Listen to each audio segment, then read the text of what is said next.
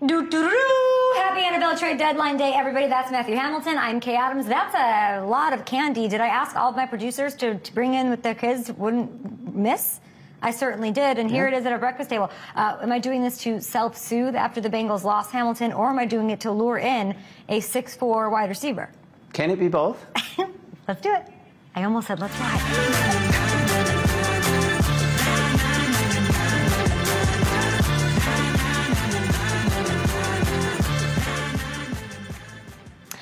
It's here. Trade deadline day. Teams have until 4 p.m. Eastern today, this afternoon, to make a move to try to gear up for a stretch run to take some chances and secure depth on their rosters. Now, we've already seen a couple big moves go down, including Roquan Smith to the Ravens. That happened yesterday. I don't love it. We'll get into it. I understand it, of course, and the I love it for the Ravens side. Are you going to draft that well? Are you going to draft that well to make up for a piece that Roquan was uh, in that on that defense? And it's just a brace yourself moment for Chicago.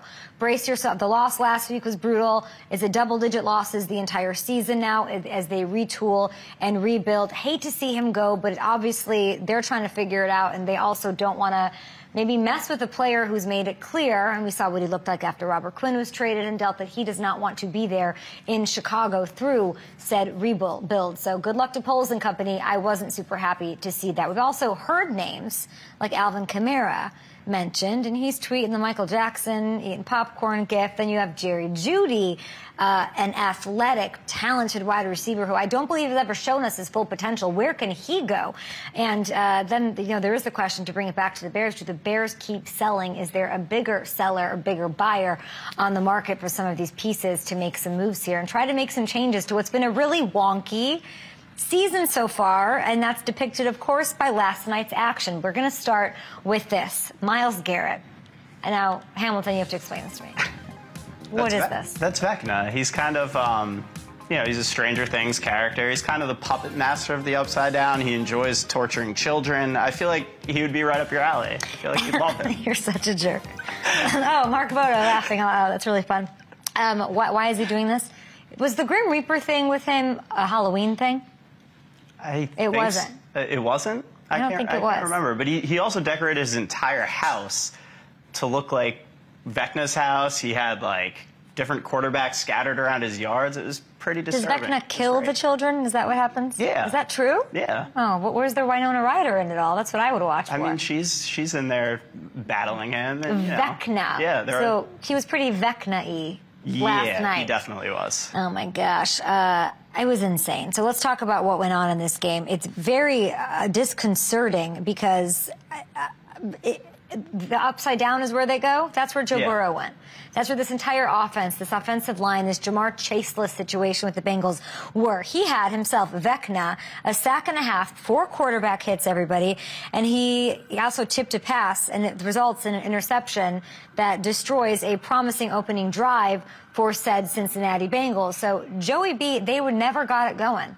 No. I was waiting the entire time. And I feel like that opening drive kind of set the tone for the whole thing because once Myles Garrett gets his hand on that ball and it's intercepted, they the next couple of drives, I think it was like three or four drives, just completely stalled after that. Yeah. I, the Bengals were definitely scoring on that drive. It was a, a field goal at minimum. It was a first down play where Garrett gets his hand up and tips that ball, and then after that, the air just got completely sucked out of that Bengals offense. So if I wasn't watching this game, these are the texts that I would send you. Sometimes if I don't catch a game, I'm like, and I'm looking at the score and I'm seeing, I, I go, I, with this game in particular, I would say Zac Taylor play calling. He doesn't have Ja'Marr Chase there, and so he's like, Zac Taylor is failing me, and the offensive line is terrible. Are either of those things true, or is it something bigger? I think the biggest thing was the offensive line issues last night. You saw they they just couldn't handle Myles Garrett. They couldn't, and and the rest of that Browns front started to get home as well. I think that was the biggest issue, and I think the Ja'Marr Chase thing definitely plays into that as well. Um, especially with the offensive line struggling, the trust level that Burrow has with Chase, the ability to get the ball out of his hand quickly, anticipate those passes, just get rid, get the ball out, and he knows that Jamar Chase is going to get to the spot and make a play on it. Right. Not having that guy that he has that much trust with definitely hurt him last night. Well, I had some trust with the you know NFL fans out there watching, and then I go on my show last week and I put up my helmet and I say this is the team. I like how they looked, and a lot of people said it was against the Falcons. Shut up, like every. And then you're looking at this game and it's you know this 32-13 situation coming up next. They've got the Panthers and they've got the Steelers. Where do I go from here with this team that's going to be without Ja'Marr at least the next few? Yeah, and I think uh, you know I think it's going to be there are going to be some ups and downs without Chase. I think we saw it last night how big of an impact he has. Again, while the offensive line it, there's really no fix for that. Having Chase, they found ways to mitigate some of those offensive line issues because of Chase and because of Burrow's ability to get the ball out. Yeah. I know a lot of people are are upset they didn't. A lot of Bengals fans are upset they didn't run the ball enough. But I think they kind of offset that with some of these short short passes to Joe Mixon, some of the screen passes that they mixed in. They weren't running the ball because they haven't been able to run the ball effectively. Yeah. Uh, and, you know, when they did try to run the ball last night, it didn't go well. Their longest run was seven yards. I don't know if it'll be easier So- against the Panthers, especially in that defense. They got to figure it out. I want, do want to give love here. You know, uh, Browns team. How do I put this? Not easy to root for. For me in 2022, I like things nice and easy to root for. So, but I do want to give a guy who I've always had an easy time cheering on, Jacoby Brissett, some credit here because he barely missed all night against this banged up uh, Bengal secondary. He led three second half touchdown drives against a defense. I'm over here. Hi. Um, that hadn't allowed a, a single one all season, right? He has been playing well. Then you look at his teammates. His teammates clear. When he was on the Colts, he was out there cheering with the defense Yeah. when they would score a touchdown. His team rallies around him. You know, he was up there in New England as well. We, we know this this character in the league. To say that you took the Bengals to town on a Monday Night Football is huge, and the Browns are you know a missed extra point and a missed field goal away from being in a playoff spot. Everybody, and to me, it just sucks. And I wish you didn't have to give up a spot in less than a month. In fact, I wish Jacoby Brissett could be the starter for this team the whole way through.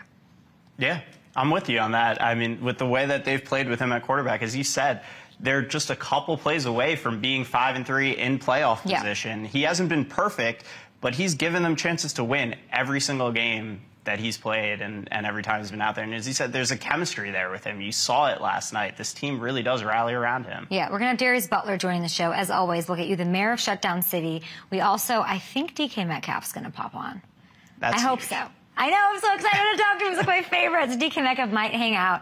Uh, but we have other takeaways ahead of the trade deadline at 4 tonight. Uh, and let's start with the Saints, right? Uh, and, and here's a, a, a plea, I guess. If we can get this camera right here, that would be wonderful. And I really appreciate it as we do a, a little around the league here. I'm thinking of it like this. You have a couple of hours, Mickey Loomis. I don't know you personally. I'm a fan of your team. I'm a fan of your coach. And I'm asking you personally, don't do it because I've heard the rumors swirling over the past week. I've heard Kamara to the Eagles. I've heard Kamara to the Rams. Kamara to the underworld. What is it called?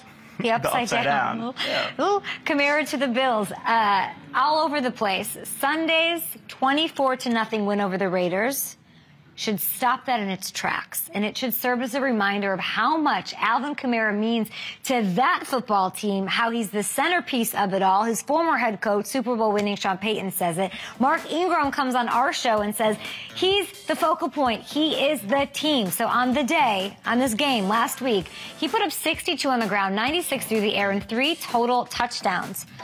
He's continuing to do things no one has ever done. And despite all of the injuries you've suffered as a team this season, if you look at the NFC South standings, you are still right there, Saints team. Mickey Loomis, do not do this. Do not give up on Kamara and do not give up on this season as a team. That's what that move does. It's, well, we're rebuilding, we're re- rethinking things, whatever. Don't do it. You are very much in it. Uh, and I want to see it happen. Now let's talk Cardinals Vikings here and let's listen. I haven't seen this yet. Patrick Peterson, show me this. I don't care what nobody say. 12 years in, I'm still a bad man. I am a bad man. Oh! My goodness.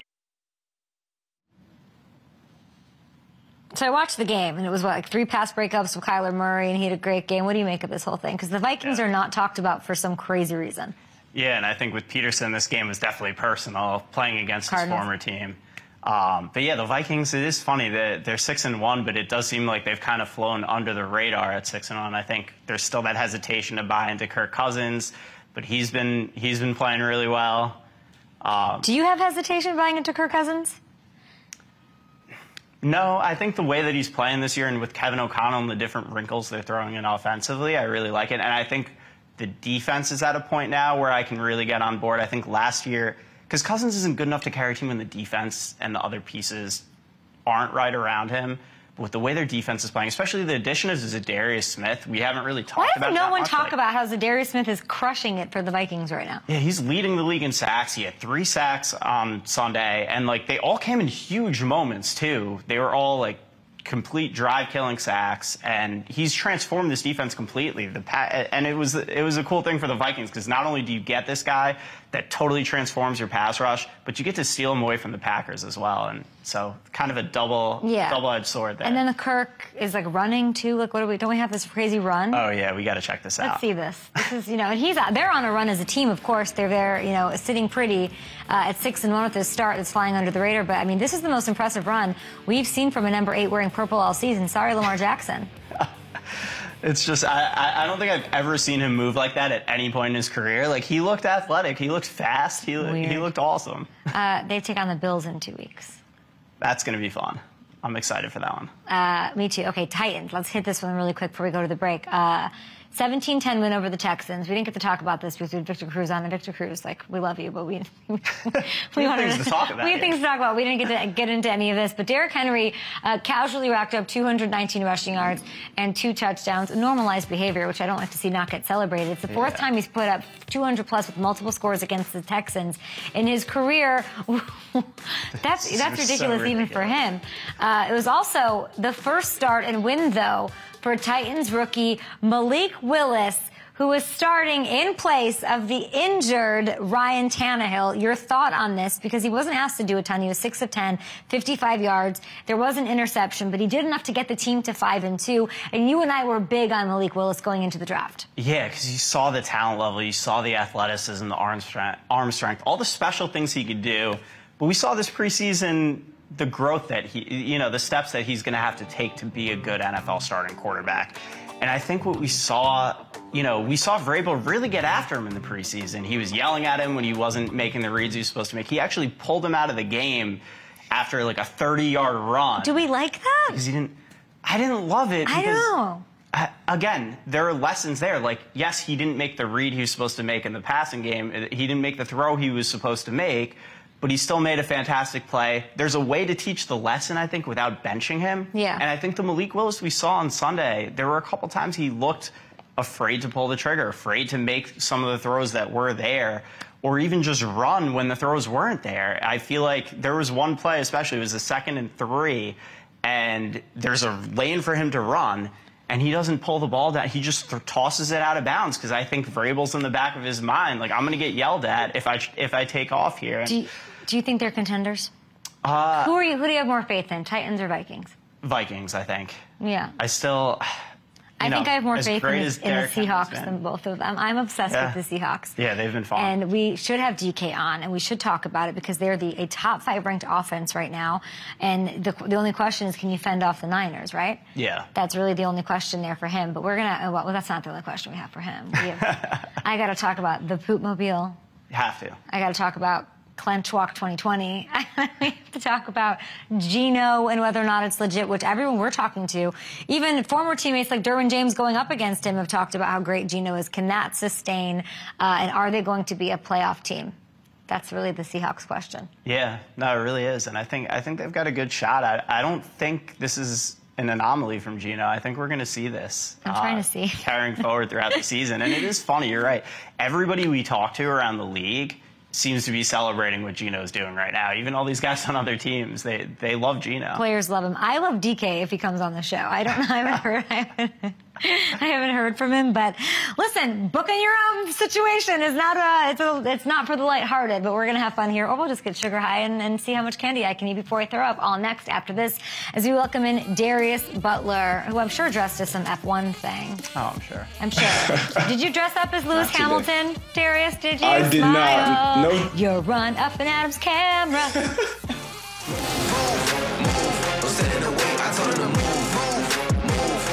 Nobody safe when I'm in a room.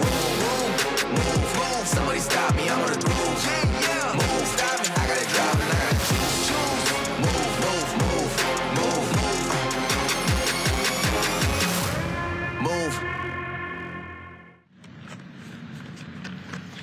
Back on Up and Adams, DK Metcalf joining us shortly, but we are on a mission here as a show, as an Up and Adams family, to keep Darius Butler in football. He was a cornerback for the Colts, Panthers, Patriots, uh, and he does the man-to-man podcast, but we are losing this man to F1, and not on my watch.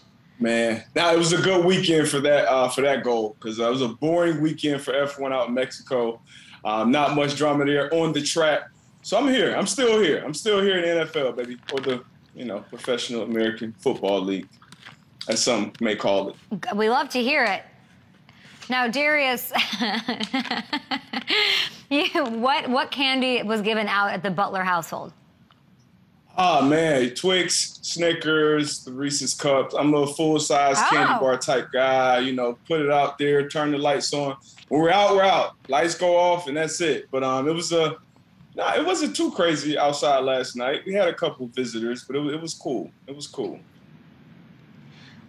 We love it. All right, let's talk about some NFL here because the showdown for the NFC South brought all the drama. We had DJ Moore, 62 yard touchdown. There's 23 seconds to go in this one in the fourth quarter. And then he gets the unsportsmanlike penalty and it pushes the extra Yeah. point back, blah, blah, blah. We know what happens. The Panthers missed it, which would have won them the game. Uh, so, as a felt, like if you're the teammate, right? If you're DJ's teammate, what are you saying to him after the game? Uh, maybe, maybe a little look, but it's not much to say at that point. You know, he was obviously excited for uh, making a, a huge, huge play. And that throw, I mean, the catch was great, but that throw from PJ Walker was unbelievable. Easily probably the best throw um, I've seen this season. Uh, but he was obviously overcome with excitement, took his helmet off. And uh, we all know as players, that's kind of the card, one of the cardinal sins on the field. Can't take your helmet off during the celebration. Pineiro missed, and then he missed another Yeah. one after that. So um, that's a conversation that the coach has has with DJ Moore. Uh, as a player, as a teammate, I don't think I'm saying much to him after the game because I know he's sick. Patrick Mahomes said it was the throw of the year. Now you're looking in down Yeah. the barrel of the camera. I'm DJ Moore. I need. What's the look? What's the look? You said you give him a look. That's it right there. Just a quick, just a quick side eye, quick Wow. face look of disappointment, and then you just keep it moving. But uh, you know, it all comes down. You, you, you all, as a player, you think about all the plays that you could have made in that game uh, to make a difference. Uh, but the Panthers, man, DJ Moore obviously made an incredible play. Once again, PJ Walker with that throw. But that's a tough, tough loss. Tough way to lose a game like that, especially with everything that's going on in uh, Carolina right now. Yeah. Well, trade deadline too is happening. So uh, let's say we could Yeah. move DJ Moore to any team. Where do you think he would land? Should land? And where would you want him to go? I mean, the Packers. The Packers need a, a tight flight, a top flight receiver, probably more than anybody right now. You need a weapon like that uh, for Aaron Rodgers. Obviously, they're struggling. Four losses in a row now, uh, coming off another ugly Sunday night Oof. loss. So I'm sure Aaron Rodgers would love a weapon like DJ Moore out there. Um, he saw Robbie Anderson get shipped off earlier this year. DJ Moore, he's he's been one of the one of the better, more talented receivers. He got paid, you know, he got paid a big deal this offseason for a reason. So um, I would love to see DJ Moore uh, up in Green Bay with old A Rod. Who are you? ta- who are you taking to win the South? You know what? I, I'm gonna tell y'all right now. When Tom Brady falls off and the Bucs fall off and all that, if it goes to shambles, I'm gonna be wrong because I'm still gonna be on that Tom Brady ship. So I'm going with the Bucs. That's still my safest bet. can't I, don't it. I- I trust any of the other uh, quarterbacks in, in that division. You know, obviously you got uh, Andy Dalton out there, Mariota, and obviously PJ Walker, but I don't trust those quarterbacks more than I trust Tom Brady and that offense to kind of figure it out. So I'm still going with the Bucs. So when they fall off, when it goes left, I will be wrong about Tom Brady. I'm letting you know right now.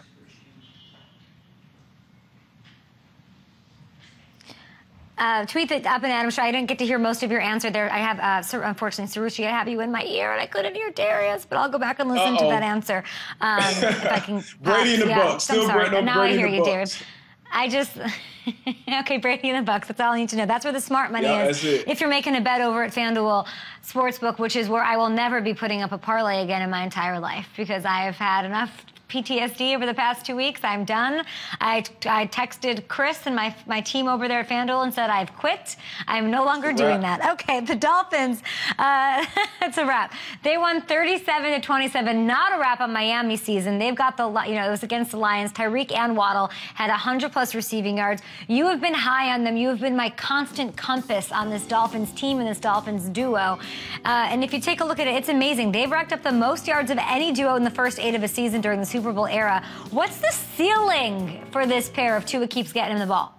Man, yesterday uh, was the 13 year anniversary of one of the greatest rappers ever, Lil Wayne. He dropped a mixtape called No Ceilings. And I'm going right there with the Miami Dolphins. It's no ceilings on this offense. Um, Tua has obviously some great weapons, but you think about that speed with Tua and Waddle, I mean, with uh, Tyreek Hill and Waddle out there, like that's scary. That's very, very uncomfortable for a defense to have to line up and try to stop that game in the game out. Obviously, Tua missed some time uh, with his head injury, but he picked up right where he left off coming back. So it's, it's no it's no ceilings for this team. Now defensively, they got to pick it up. They got to start playing like the defense uh, we expect them to be this year. And as they get healthier, I think they'll uh, continue to pick up more of their slack on that defensive side. But there's no ceilings for this Miami Dolphins team at all. Do you do they remind you of any duo? Can you compare them to anything that you've seen in NFL history? No, never seen anything like this uh, speed, talent wise, because they're both obviously straight line fast. So I would compare them to F cars, F1 cars, more than I would compare him to some other receivers. So I compare them to Max Verstappen and, and Checo Perez and those Red Bull cars. But those guys are flying around, in and out of breaks. So they're not only fast, but they're also quick and can make uh, great catches. And Tua, Tua, man, he's accurate. And Mike McDaniel is kind of who he was cracked up to be. This offensive wizard, genius, whatever. Uh, he he has Tua playing on a very very high level. So no, I can't really compare another duo uh, in the league or anyone that I face to these uh, these three guys right now with Tua, Hill, and Waddle. Mm, I want to ask you about Patrick Peterson. We opened the show talking about him. He obviously had a, a nice emotional revenge win up against the Cardinals, uh, and his celebration after a pick six seemed to. The kids are saying throw some shade at Kyler during Call of Release or Call of Duty release weekend, I believe. What do you make of this? You sound like Pat P. Like, how do you guys act like you don't know what Call of Duty is? Call of Duty has been out and around forever. Uh, but honestly, I think uh, I think Kyler kind of caught a stray here. He, he caught some shrapnel here. I think obviously Pat P was amped up for this game. He was ready to face his old team. He had a lot to get off his chest after the game as far as ownership and front office. So I think Kyler was more so of uh, just catching a stray innocent bystander. But um, you know, Pat P had a lot to say in that celebration. Everybody was in on it, so you know they prepared for that Yes. moment going into that game. And uh, I unfortunately had the Cardinals winning, but uh, the Vikings are rolling right now. So shout Let out to, to that defense and that team. It's amazing. They're six and one atop the NFC North. It's a beautiful thing to see. We'll see if they can keep it rolling. I, I have been paid American U.S. dollars to host Call of Duty tournaments. Okay, not one, not 2 and I couldn't tell you a thing about it other than people call it COD. Other than the fact that NFL players play it, and other than the fact that everyone just talks about kills, and that's all I hear the entire. Yeah. Otherwise, you, now if you want to ask me about RC Pro Am or Duck Hunt, you want to talk about that little dog in Duck Hunt and those flying saucers uh, and that orange gun. I'm your girl. You aging yourself right now, okay? You aging yourself. Duck Hunt, that's that's that's way way throwback. That was a classic though. That 007 and some old games. But Call of Duty, I, I can't play it. Everyone else has gotten way too good, but I used to play that one back in the day. And I think Juju Smith even spoke on it earlier about how that builds some team chemistry when you're able to come together and get some wins on, the, on the Call of Duty. So um, you know, hopefully, you know, Kyler Murray is kind of, you know, scaling back a little bit these days. Right. And you mentioned Patrick Peterson, and, and he is the OG there, and then he has this emotional win and this great game. And then he called out the Cardinals GM Steve Keim after the game. Take a listen to this. Where's Steve Keim? Still running from me. That's what I want to talk to. Man, the man face to face. Stop running. What do you want to tell him? I want to talk to him in his face. I don't want him to see this. I want to see him personal, personal, to person. Yeah, I need to see him person to person. Stop running. Stop running. said you was gonna call me back. Two years later. Wow. Ooh, now it's nothing we didn't Wow. know, right? The contract Spicy. negotiation was a little bit messy. We know bad blood exists. What were your thoughts on this? You know what? I, I I- I get it. I understand it. People say a lot of times, you know, business is business. It's not personal. But a lot of times, business is, is personal, and it's not like you know, Pat P is just some slappy that came through and had a coffee for the Cardinals. This dude was a, a, a top five, top ten pick. Came in and gave him eight Pro Bowl seasons out of the gate. One of the greatest players in that franchise's history. I think you owe that conversation to that man, um, business or not uh, as a front office member, even as an owner, when you talk about a player of that stature. So I definitely get it from, from Pat P's standpoint. That's not something that's going to happen or I even expect to happen for every player up and down the roster. But for a player like Patrick Peterson, who's, you know, represented that organization uh, on and off the field in a great fashion, I think he's owed uh, that man-to-man conversation. That conversation can happen anywhere, too. That can happen on the Yeah. field. That can happen in the tunnel. Anywhere that conversation Right. can happen. And um, on Steve Kahn's behalf, I think I think it should. No, I'm here in New York. There's bad traffic. I hate it. I want you to take me on that freeway, jump on that open road, and take me down to Shutdown City. See, see, they got that traffic back in New York, man. But uh, let's go to Shutdown City. We got Yeah. Chauncey Gardner Johnson, four picks in the last three games. I promise you, Marissa did not force me into putting him back on his list after the bye week. He's earned this. This entire secondary has. So Chauncey Gardner Johnson is in Shutdown City again. And then going back to that conversation we just had, OG, one of the OGs in the league out there playing good football for the Minnesota Vikings, Patrick Peterson, getting revenge from his old team after getting a pick the week prior before the bye week down in his hometown, the nearest hometown in Miami. So shout out to Pat P, continue the ball. And then the mayor of Shutdown City this week, K'Waun Williams, man. They opened up the day across the pond. He played a great game. I think targeted three times, one P- PBU, game-winning interception to get a big-time win with the cast on at that. And I, this is near and dear to my heart because I had to play a season, a half a season with the cast on as well. So K'Waun Williams is the uh, the mayor this this week, and uh, great game, having a great season. That was a big, big win for the Broncos too. The mayor of Shutdown City. Darius Butler, you did all that work while I'm just ruining my teeth eating these milk duds. You're the best. I don't know how you do that and do TV at the same time. Those milk duds, they'll be in my teeth for Oh. a good 37 minutes. I don't know how you do that, Kay. I, I support local business. I can walk down to 30 Rock and my doctor, Oren Ramanan, is sitting there ready for me to take my money. Darius Butler, we love you. We'll talk There to you you go. soon. Catch him on Pat McAfee. And the Man to Man podcast. I'm still waiting for. I want, I want to invite to that one. We'll talk to Darius Butler. We've got DK Metcalf next. Oh, I just hit a light. Oh boy. Ice the Bezzy.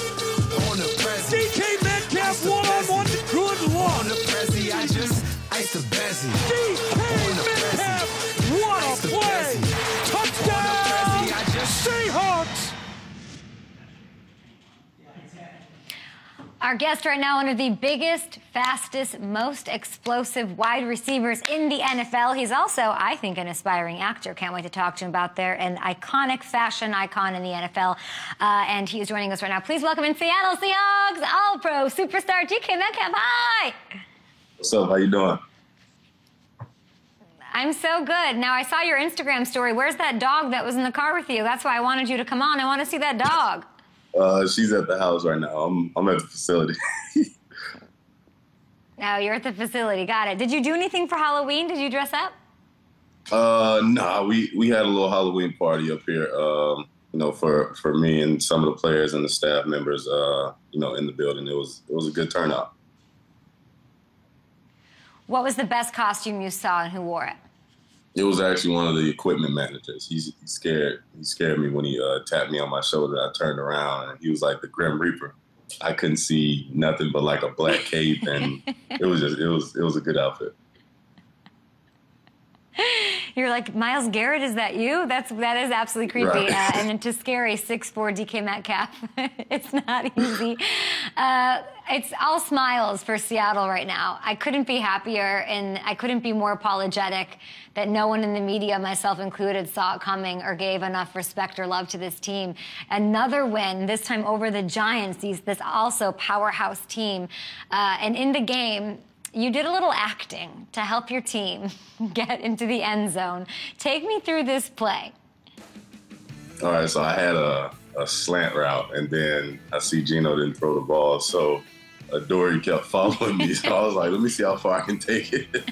so I was, uh, I ran and acted like uh, Geno threw me the ball, threw my hands up, and you know he he was chasing me and acted like he was trying to swat the ball down. So I was like, dang, I really got him uh, on the on the fade route. But yeah, it was a it was a good little acting job. But that that running back uh, that we have in the backfield is is doing an amazing job right now, making people miss and uh, you know taking taking the uh, ball to the end zone.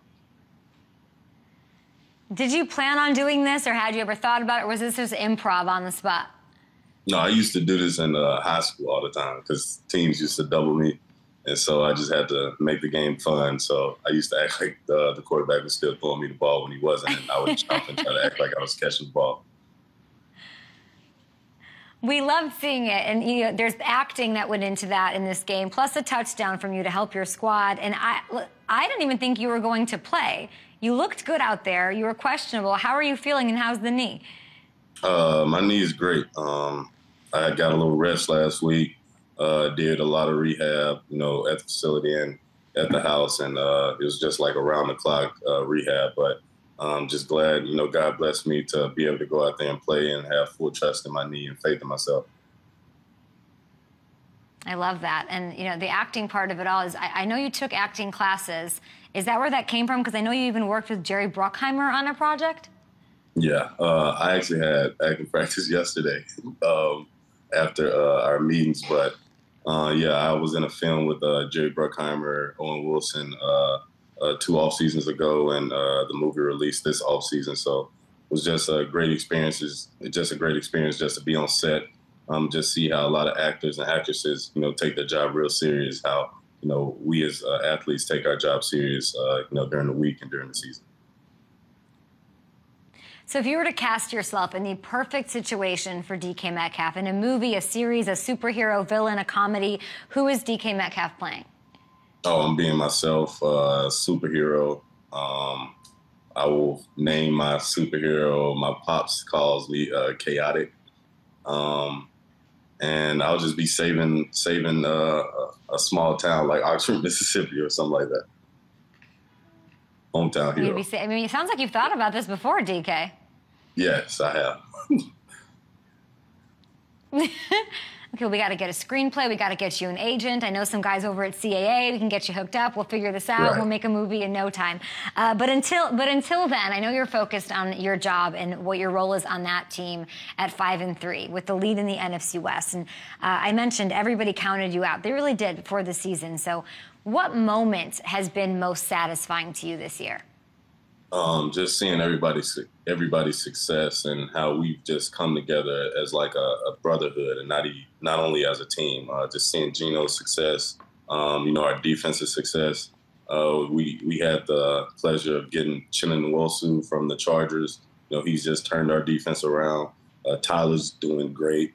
Uh, Ken Walker, an amazing running back, amazing rookie. These rookies that we have on defense and offense is just amazing to see. You know, everybody coming together and you know doing their part and you know it's making a big difference and you know we're pulling out wins you know left and right um, because everybody's just coming together and we don't like tyler said nobody cares who gets the credit um, you know we just we just go out there and just play for each other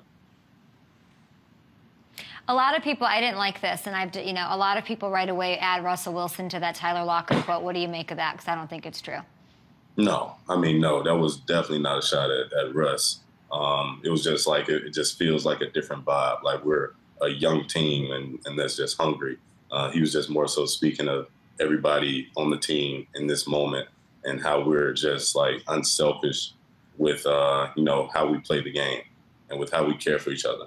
Uh, Russ was definitely not that type of person to me or anybody, um, you know, that I, I seen him around. Uh, he was a great teammate to me. So was Bobby Wagner and everybody that's Mm-hmm. you know been through this organization since I've been here. So no, that was definitely not a not a shot at anybody, uh, and specifically And Russ. it, yeah. It seemed like Tyler Lockett was talking about these young guys. Listen, Tariq Woolen blew my socks off when I had him on the show last week, getting to know him just a little bit, the first time I ever talked about him. And now he's got a fan for life. Like, I could not be, you know, more uh, sort of like attracted to everything he's got going and the, momentum and the mentality. And you're, you, you and Tyler Lockett, you guys are veterans now. You're setting the tone. You're talking to these guys. How impressed are you with this rookie class? Uh, very. Um, Coby studies day in, day out. He's probably the first one to the facility and the last one to leave. Ken Walker uh, works his butt off every day at practice. Um, and when he gets to the game, he knows exactly who he is and what he has to do. Tariq Woolen, uh, I mean, you see him catching picks left and right. You know, nobody has completed a pass on him in, in a couple weeks uh, that I've seen. Um, and then, you know, the two tackles that we have in Abe and Charles that's holding, you know, the line down on the outside. Um, I mean, we just have like a, a hungry team, um, you know, that's hungry just for, you know, a chance to play, a chance to win, a chance to just not prove everybody else wrong, but, you know, just to prove ourselves right um, in every situation. So these rookies that we have, they, they motivate me every day at practice because, you know, they're trying to be great as well. They're trying to, you know, chase me, chase me down at practice or stop me at practice or stop Tyler. So, uh, I mean, it's just a, a fun sight to see. And then you have, speaking of proving people wrong, Geno Smith. There's so much to get into, but what was the moment that he won this locker room over? Um, I will say after the after the Saints game, I will say he told us that we got to be better as an offense, better as a team, play together. And ever since then, like everybody's just gravitated towards him. Uh, you know, he's a he's been a leader the past five weeks. Um, he's been leading us, you know, in offense, leading the team on the sideline. He's talking more. You can see how bad he wants to win. You know, during the game, how he's taking off running, not running out of bounds, trying to lower his shoulder, get the first down. Uh, you can just see his competitive spirit uh, just come out on Sundays, and you know, it's just a, a, thing of beauty to see how many people, you know, counted him out and didn't give him a chance and wrote him off, and you know, he's just kept his head down the whole time and just worked his butt off, and uh, you know, you, we, we, he's reaping the benefits of it now. Well, he said everyone wrote him off, but he didn't write back, though, which is one of my Yeah, favorite lines, I think, Yeah, in NFL history. I mean, that's when he won. That's the moment he won me over. I said, "Okay, Geno, like I see you, I see you right now." Uh, so that that was it's a, it's a beautiful moment after that Saints game, and it's been working for you guys. And then and then there was this moment, the moment of 2022, with the clench walk. okay, we just have to get into it. This was the bowel movement that shook the NFL. DK, uh, it's week four. You know, it's again. I think it's against the Lions. Who cares? Who knows? You're carted off the field. Are you, let's start here. Were you surprised this was such big news and that this went viral? Yes, I'm, I'm very surprised that me being carted off to go to the bathroom was big news. If anybody has played in Detroit, they know it is a long ass walk from the locker room to the field. and I was not going to make that walk uh, by far. No, I was not going to make it. Okay, so then here's the next question. What like what does Pete Carroll know? Do you, you obviously say I have to go to the bathroom? Is there a signal that you give to everyone? Like is there a how it just you you're just I'm out it, and that's how it goes? All right, so this is the full story. So this is the middle of the drive, and I come out for a play, and I told my my uh, receivers coach, I was like, "Hey, I got to go to the bathroom." He was like, "You got to pee or do number two. I said, "I got to do number two. And then it went away for like ten seconds. So I was like, "All right, I'll go back in the game." And when I was back in the game, the feeling came back up. So we we ended up scoring like two plays later. And so I run back to the sideline, and they had a cart ready for me. So the head trainer was like, "You got to go to the bathroom." I was like, "Yeah." He was like, "There's a cart down there." I'm like, "Bro, I'm not taking the cart." So then the equipment manager comes up and was like, "Hey, it's a cart down there. I think you should go ahead and go." Pete wanted me to do it on the sideline. I'm like, "No, I got too much respect for myself. I can't. I can't do it on the sideline." And so I hopped on the cart and went to the locker room. I was actually mic'd up that game too. So this is this is like very um So NFL Films has full pooping. yeah, yeah, they got they got every I mean, you got now. Whenever NFL Films needs anything from you, DK, like you. I mean, that's I just have like that. You it, know, yeah. they they got you. exactly. So Uh, I'm, I'm Pete, did you, did right you now. say that Pete Carroll? Pete Carroll wanted you to. Pete Carroll wanted you to poop on the sideline. Yes, because it was like the first week of the season. Our special teams coach is uh, Larry Izzo, and he got a game ball for taking a shit on the sideline when he was with the Patriots. So Pete was like, "If Larry can do it, then you can do it." And I'm like, "I'm not like Larry. I don't want to be like Larry in that aspect.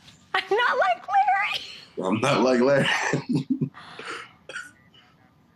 I can't believe that. And then, uh, okay, well, then there we go. Now, now, I don't even know what to say about that. I would just say this for us fans out there, we thought you were hurt.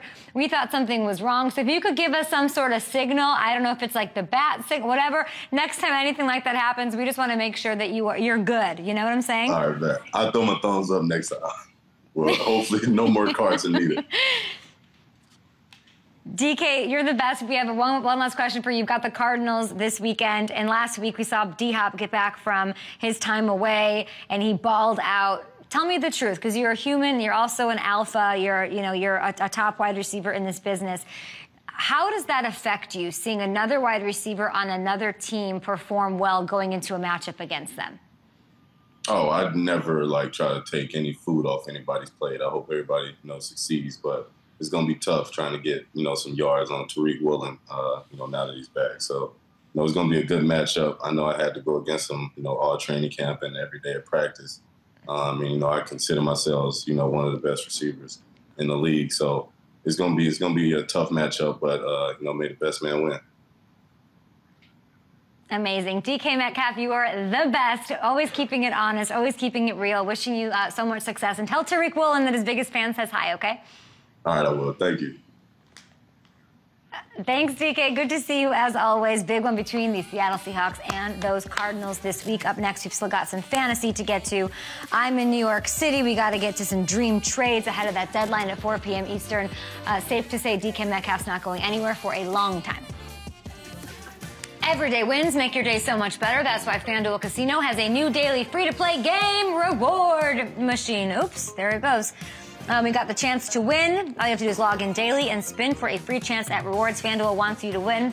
Play reward machine for a free chance at Everyday Wins only on FanDuel Casino. Hey guys, my prompter's dead. Just throwing. I'm just, I'm just launching milk duds at people. All right, here's the deal. You want fantasy? You want people to pick up for waiver wires? Let's do it. These are actually probably pretty, pretty painful to get pelted with. Hamilton, ah! Um, wait, Tyler Allgeier. Gary's That's who we like. Ow, ow, ow. Gary's not going to be happy with this. All right, he's available in 50% of leagues, scored in back-to-back games. Run heavy Falcons offense, love it. Rondale Moore. Is he like the SoFX? Do I keep trying to make him happen? No, I think he is happening now with uh, with DeAndre Hopkins right. back doing his thing. and two 100 weeks yard game on. last week, nine touches, season high, still out there and about 60%. How about Darnell Mooney? Hasn't been the fantasy darling. A lot of people wanted to, but there's still value there. He's put up 50 plus yards in five straight weeks. Solid option if the bye weeks are hitting you hard. And then at tight end, why do you like this guy, Hammer? Milk duds everywhere. I just Uh, want to hit. I just want to hit Greg- Mark Voto with one. Greg Dulcich. Ah! Oh, we I- caught it. Go ahead. I love Greg Dulcich. Uh, rookie, big athletic tight end out of UCLA. Ru- Russell, after the game, was singing his praises, just saying that there's freakish things about him. And I see it too. I mean, he's a, he's a big, athletic guy that can move, deep threat, hit him down the field. You saw he absolutely torched the Jaguars, 87 yards as you're playing with Milk Duds. This is great. I'm a pitcher. Randy Johnson. Tyler Allgeier. Is that saying that right? Yeah. Allgeier. Okay. Allgeier. Uh, Rondale Moore, we got two wide receivers for you. And Greg Dulcich, baby. Can he do it again? We were big fans of him last week. He is a top waiver wire ad this week. All right, this is the Up and Adam show. I mean, that really took a turn with our guy DK Metcalf. Um, but we're going to move it along to a break after this. The Bears traded Roquan Smith. This is not breaking now. It broke yesterday, but we'll give you our trade dream scenario next. This is terrifying. Waiting for Schefter to finally announce some trades before 4 p.m. Like, yeah, like it's trade deadline day, a couple hours. Oh, I missed that studio. But here we are in this very interesting studio in New York City. Hamilton and I, uh, just a couple hours away from that trade deadline. So I'm going to give you a manifested ah, spirit fingers woosah situation uh, dream scenario for the trade deadline and it is somebody who i've loved for a couple of years dj moore and he's been stuck in quarterback purgatory for far too long. But he's got time. He's 25 years old. He's in his fifth year in the league. He's already played with 10 different quarterbacks and has somehow still put up 2,000 yard seasons, which is pretty incredible. Uh, I'm ready for him to go somewhere. I'm sure he's ready to make a move. And I'm pretty sure Aaron Rodgers is also doing all sorts of woosai things trying to make this happen with Goody. Goody, don't be stubborn. Go get yourself a true number one and give your team a shot to make a run at this thing. Hamilton, dream scenario. I would love that, but You- uh, you like know that? what else would be? Oh yeah. Good. Uh, you know what else would be pretty Well, cool? hold on, because they're still running the B-roll for this one, so let's let it ride. Okay, now we go. If Alvin Kamara landed with the Buffalo Bills. Okay, well, get off this head. Who's, is there a shepherd's hook? Voto can put him in a headlock and throw him down the stairs. I just think the versatility. Imagine him playing in the slot in that offense. Josh Allen, Stefon Diggs, Gabe Davis. Be pretty cool to watch. You want the Buffalo Bills to win the Super Bowl. I actually don't mind if they win the Super Bowl, but I don't like a super team anyway, and I don't want Alvin. Alvin is all Saints. Yeah. Tomorrow's All Saints Day, isn't it? Today? Oh. Maybe. Mark Voto's like, I'm actually the good Catholic here. It's today, not tomorrow. Oops. Oh, yeah, it is November 1. you go, yeah. Come on. He's, he is November 1. He's the November 1 of the NFL. He's got to stay there. Yeah. It would be, that would be pretty sick, actually. That offense would be. We don't need two hurdlers on one team. It's greedy. Allen's already hurling, hurling over people at 250. We don't need Alvin Kamara also hurdling over people. I just don't know how you stop that offense if he's there with all the versatility he brings, everything he can do. But to, uh, can you just imagine AFC Championship but you don't game? want that McCaffrey to Chiefs go up there. offense, That Chiefs offense with well, I like McCaffrey to the Niners. That was the one I was hoping. That is a so. nightmare dream scenario. Buffalo, I love you. You don't need you don't need him. You It'll put you need right McCaffrey. back into the underworld, the upside down. The upside down. The, isn't the underworld like in Greek mythology? Isn't that correct? I'm just cultured and educated while you're watching Netflix and chilling. Just saying. I'm reading the Odyssey. So cultured with your milk duds and Swedish fish. Yep. All right, we'll be back tomorrow. DK Metcalf, thanks. There's a yeah, there's a joke to be made here, but we're not doing it. Bye.